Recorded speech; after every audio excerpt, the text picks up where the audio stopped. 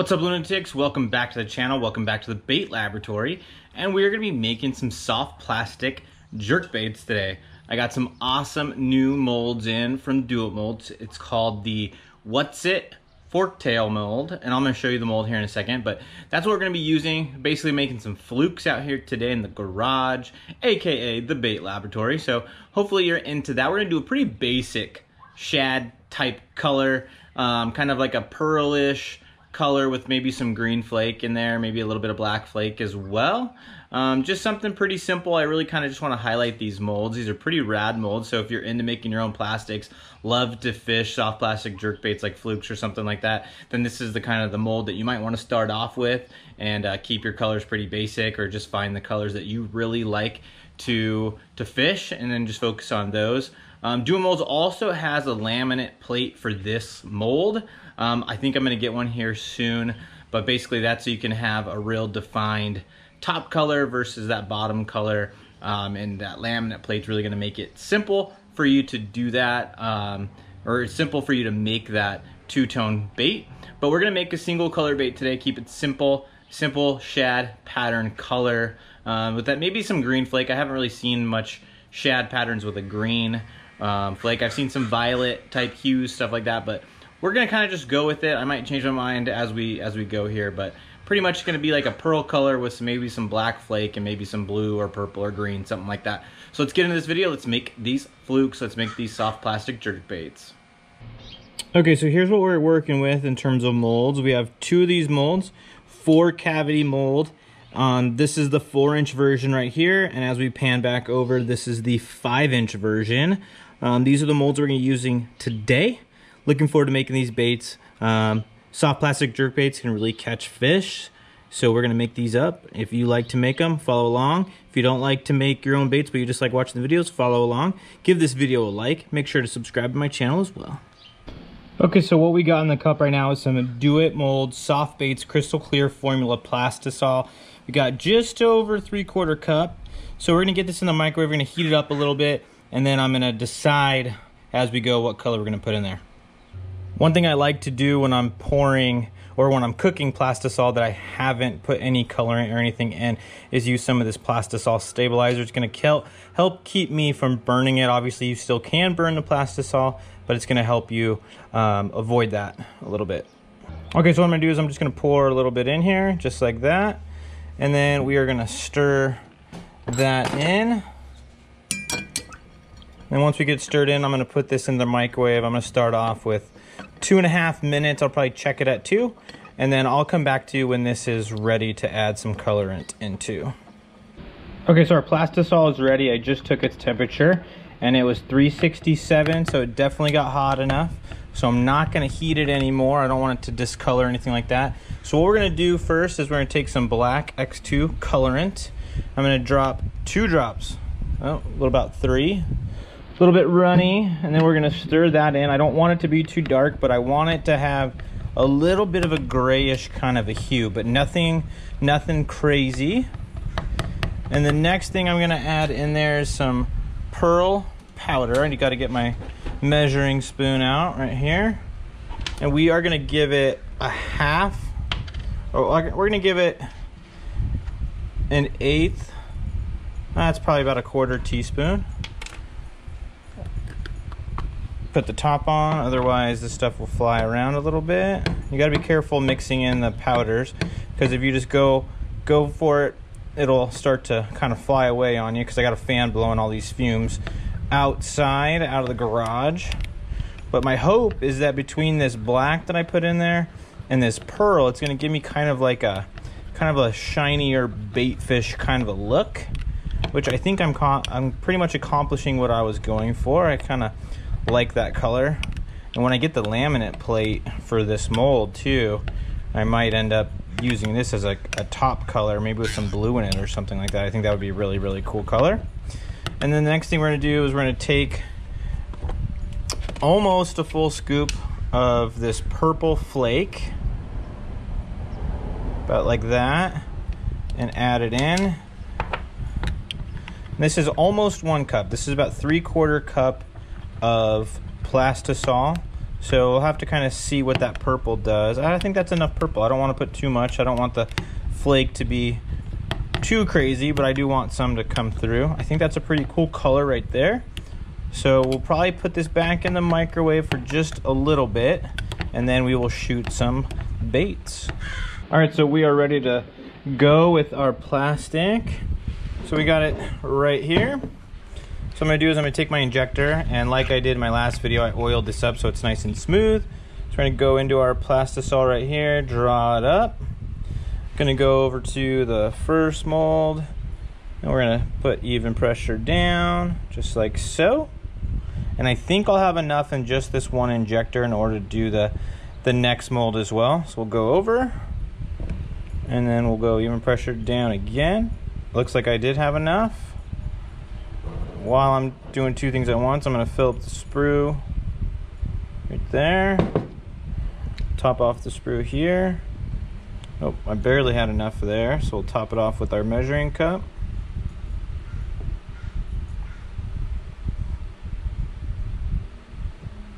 It's kind of a cool color. I'm really happy with how that turned out. All right, and then we just gotta wait for these to cool down and uh, see what they look like. Okay, so we're gonna check out these baits, see how they turned out, see if they look like they're fish catchers or not. Based on the color, the way it turned out, I definitely would use this color, and I definitely think it'll catch some fish. So let's open up our mold here. Oh, I'm gonna have to re open that one and closed it up a little bit. These are a little snug. Let's see how these turned out. I definitely think those would catch some fish. Nice little silver hue to them. I really like the way that purple uh, changed the color of these baits. I really think that that purple really looks good in there. Let's look, uh, look at the next batch of them. Got to open up this mold again. There we go. I'll hold them up closer so you guys can see them. But yeah, I definitely think these turned out real, real good. Really happy with that color, and I definitely think these would catch some fish. So one thing I forgot to do when I was mixing up this color is add salt to it. For soft plastic jerk baits, I really like to have salt in those baits because I want them to sink. Because a lot of times I don't use them weighted. I'll just throw them out there like on a spinning rod or something like that and I want them to have a little bit of weight so I can cast them and I also want them to have a little bit of weight so they sink. So I forgot to do that so I literally just dried those off because I had them in the water so they'd cool down. But I dried them off, I put them back in the cup and I'm gonna remelt everything and we are going to add some salt in and re-pour these things because if I'm gonna fish them, I want them to be how I want them. So, or how I like them. So we're gonna add some salt to this mixture, re-pour them, and I might pour some little swim baits as well if um, I have enough plastic. So when I'm adding salt to my baits, this is what I use. I just use popcorn salt like this. You can just get it at the grocery store or something like that. But this is what I've been using when I add salt to my baits. A lot of times I'll add salt to my Boss Hogs, which is a brush hog imitation. And um, other times if you want them to your worms or something like that, but a lot of times you don't put them in worms. But for the brush hogs, I definitely like them. Um, the mold that I use is called the Boss Hog by Do-It Molds. Caught a lot of fish on that. And then obviously for these flukes and stuff like that, I want the salt in there. And then a lot of times when I'm making my little ripper swim baits, I'll want salt in those as well. And this is the salt that I'm using. All right, so we're at the point where we can add salt. Right here, I have a one cup measuring cup. Now I'm gonna go almost to the top of it because from what my research has been, about one cup of plastisol to a quarter cup of salt. It's a general mixture when you're adding salt to your baits. So I don't have quite a cup, so I'm gonna stir this in there. I should have been stirring as I was pouring it, but too focused on talking to you guys. So I'm gonna keep on stirring here. And uh, this is going to soften the plastic up as well. Um, so you're gonna have to deal with that a little bit. Obviously that stuff's cold going in there, so it's gonna cool your temperature down. Um, so I'm gonna have to heat this back up and keep on stirring it all in there so it's nice and stirred in. And then one thing you wanna do when you add salt to your baits is you wanna stir your plastic a lot because sometimes that salt will settle at the bottom of your cup and the bottom baits are gonna have way more salt than the top baits will. So what you wanna do is just make sure that this is stirred a lot and stirred evenly so that way you have consistent baits. Okay, so I had my plastisol in there for about 40 seconds. So I'm gonna stir it up real good and then I'm going to get my injector and we are going to make up some of these baits.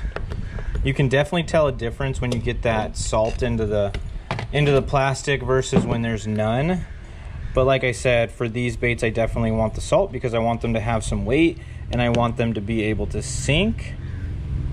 You can definitely feel that this whole mixture is thicker. You can just tell that this is a different consistency than, than when you have no salt. And go over to the next one.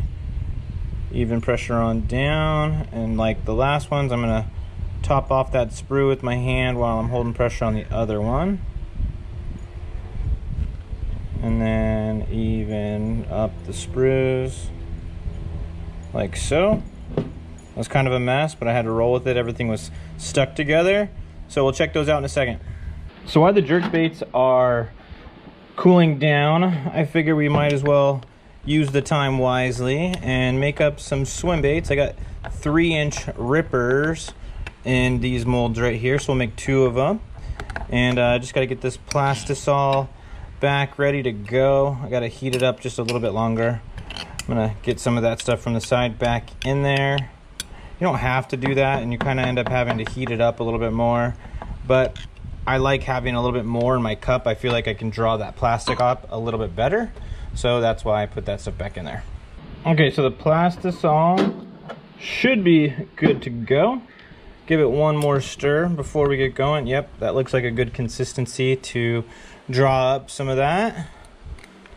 Take our injector, draw up our plastic come over to our rippers. Takes hardly any plastisol to fill these guys up. These are small little swim baits.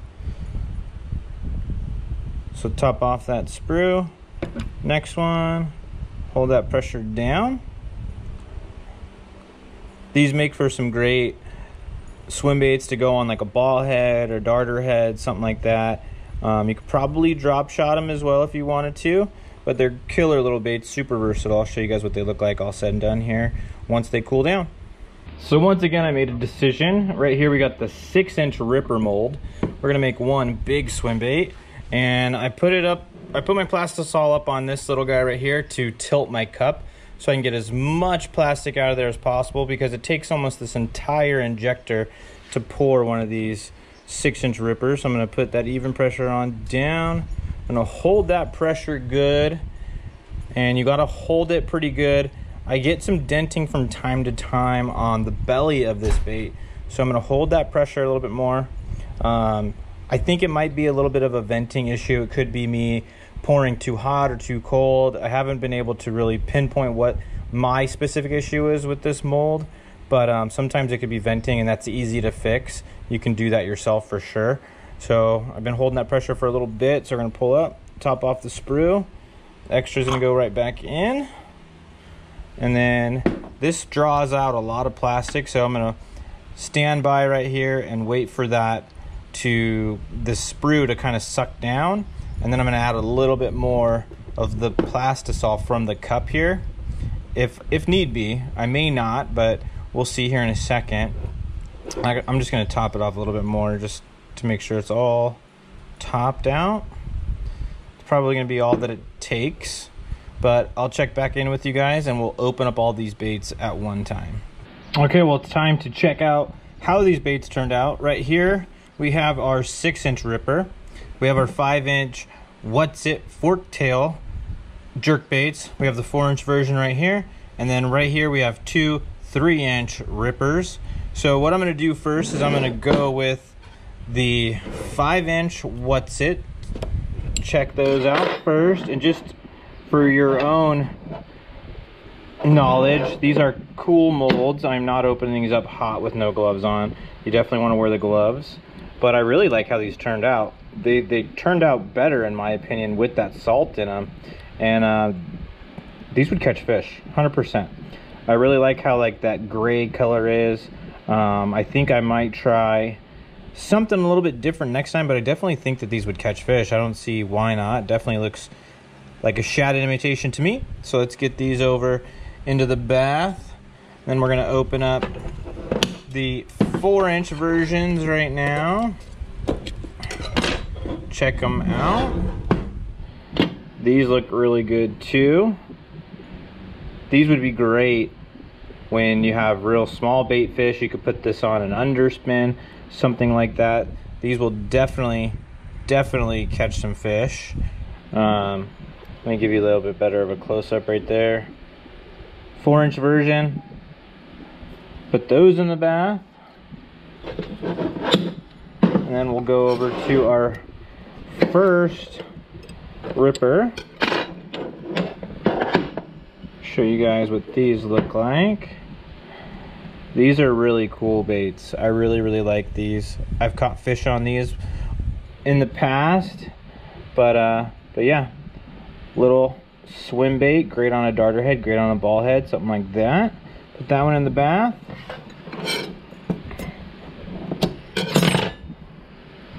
Open up the next one. And there's another one. This one turned out better than the last one. I had a little bit of dimpling in the last one, but that's a good shot of it right there. And then it's time to check out the big guy, the six inch ripper. Pull those screws over to the side. Open up the big boy right here.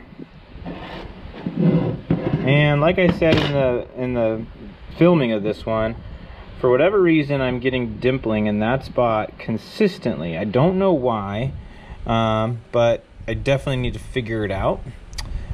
But overall, if I didn't get the dimpling in there, that's a good looking big swim bait. I definitely think something would go out and eat this. If it, it could be a great gizzard shad imitation for the for your lakes that have those gizzard shad stuff like that. I might definitely think this is something that would entice the bass to eat it. But uh, that's kind of what you're looking at if you get one of these molds for yourself. But I'm gonna have to figure out that dimpling problem so that way I can get some more consistency out of these baits. Well, that's gonna do it for today's video. I really hope you guys enjoyed watching me make these these different baits. I had that Wutz-It mold. I also had the two different types of ripper molds. Um, all those baits that I just made, they will all catch fish. I'm very, very confident in that. I've caught fish on the rippers. Um, I haven't had a chance to fish the six inch ripper very much, but I have I've seen it in the water and I definitely think it has a good rolling action to it. I definitely think it could get a big bite. Um, I will be fishing those Wutz-Its here in the near future.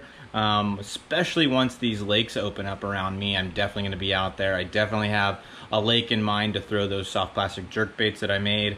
Um, that color would catch them here too. Um, play around some other colors, maybe try to get a little bit less of a pearl in there, something a little bit more translucent, but I definitely think that color turned out okay, and I definitely think it would catch fish. But um, I really hope you guys enjoyed watching me make these baits. Um, this is definitely something you guys can do yourself.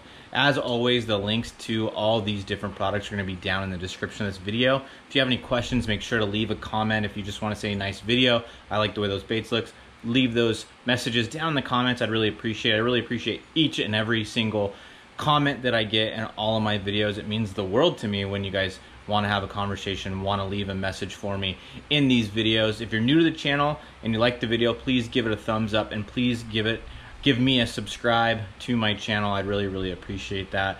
Um, as always, thank you guys for watching. Thank you for taking the time to watch my videos. And as always, we got more content coming your way from the bait laboratory from the lake. So stay tuned for that. Thanks again. I'll see you guys later. Bye.